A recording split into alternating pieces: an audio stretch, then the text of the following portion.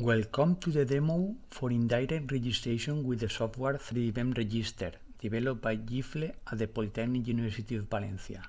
My name is José Luis Lerma. This demo deals with the registration of 17 Faro Focus 3D scans measured inside a museum. Each scan is almost made up of 11 million points. For this project, 5-6 spheres were measured for the indirect registration with the software FaroScene. The default parameters preset by the software 3DVEM register will be accepted, including automatic matching. After pressing the register button, the registration is performed. The summary of the adjustment panel displays the root mean square error of the adjustment 1.6 millimeters in 7 iterations and that all 17 scans are registered. Now we sort the residuals in order to identify quickly the maximum residual 4.9 millimeters. Now we try to improve the registration adjustment solution. First, we deactivate the maximum residual 0.2 from sub 11 and click register again. The root mean square error yields the same value.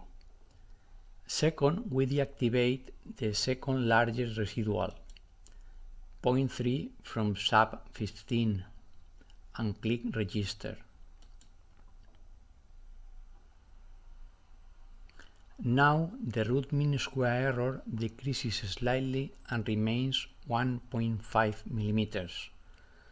Both points deactivated, painted in red, displayed root mean square error of 7.8 and 7.1 millimeters, respectively. Therefore, it is better to exclude both points from the adjustment. After printing out the report, it can be confirmed that the precision estimates of the external orientation parameters are around 1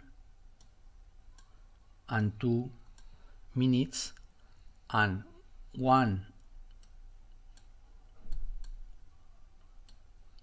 millimeter for the translations scan positions for scan sub 004 the same with the rest of the scans. Therefore, it is possible to check that the quality of the registration is in accordance with the precision of the Faro Focus 3D laser scanning system.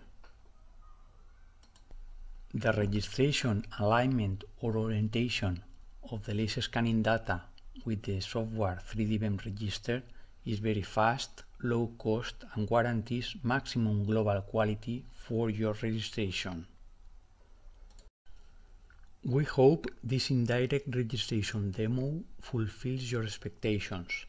For further information, do not hesitate to contact us. Thank you for your attention.